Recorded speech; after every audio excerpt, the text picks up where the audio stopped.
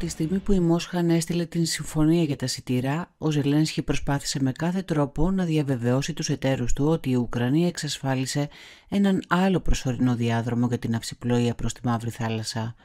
Αυτός βρίσκεται κατά μήκος της ακτογραμμής της Βουλγαρίας προς το Βόσπορο. Το πρώτο φορτηγό πλοίο έφυγε από το λιμάνι της Οδυσσού στα μέσα Αυγούστου κατόπιν αιτήματος των αρχών του Χονγκ Κονγκ. Την 1η Σεπτεμβρίου οι Ουκρανικές αρχές δήλωσαν ότι δύο ακόμη πλοία έφυγαν από το λιμάνι Γιούσνη στην περιοχή της Οδυσσού, από το οποίο δεν μπορούσαν να φύγουν από το 2022. Ο Ζελένσκι δήλωσε μια ακόμη μεγάλη νίκη επί της Ρωσίας. Ωστόσο μετέφεραν χιτοσίδηρο και συμπίκνωμα σιδηροπυρίτη αλλά όχι σιτηρά. Έφευγαν από την Ουκρανία, επομένως δεν μπορούσαν να χρησιμοποιηθούν για τη μεταφορά όπλων στον Ουκρανικό στρατό. Ένας από τους λόγους για τους οποίους η Μόσχα ανέστηλε τη συμφωνία για τα σιτηρά ήταν η χρήση τους από το Κίεβο σε στρατιωτικές επιχειρήσεις. Τη νύχτα της Δευτέρας Σεπτεμβρίου, τρία ουκρανικά μη επανδρομένα σκάφη καταστράφηκαν νότια του στενού του Κέρτς, δύο από αυτά είχαν ως στόχο τη γέφυρα της Κρυμαίας.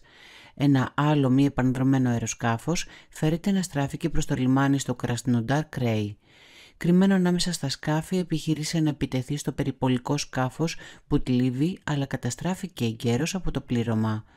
Τα μη επανδρομένα αεροσκάφη στάλθηκαν στις ακτές της Κρυμαίας από την περιοχή της Οδυσσού υπό την κατάληψη της εξόδου πολιτικών πλοίων από το λιμάνι του Γιούσνη.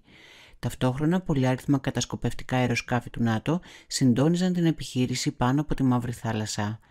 Στην προσπάθειά του να εξαπολύσει άλλη μια επίθεση στη γέφυρα που χρησιμοποιείται από πολίτες, το Κίεβο υπονόμευσε και πάλι την αξιοπιστία του.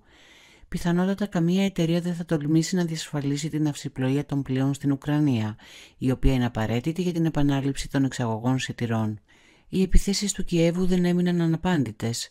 Στις 3 Σεπτεμβρίου, ρωσικά UAV Geranium έπληξαν το ουκρανικό λιμάνι Ρένι που βρίσκεται στις όχθες του Δούναβη.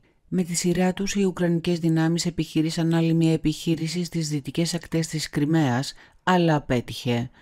Ο ρωσικός στρατός ανέφερε ότι τη νύχτα καταστράφηκαν από ρωσικά αεροσκάφη τέσσερα αμερικανικής κατασκευής στρατιωτικά ταχύπλοα σκάφη Willard Sea Force, τα οποία επέβαιναν ουκρανικές αμφίβιες ομάδες κατά την πορεία τους προς το ακροτήριο Ταρκάνκουτ στην Κρυμαία. Ευχαριστούμε που μας παρακολουθήσατε και να λαμβάνετε πρώτοι όλες τις νεότερες εξελίξεις κάνετε like και εγγραφή στο κανάλι μας.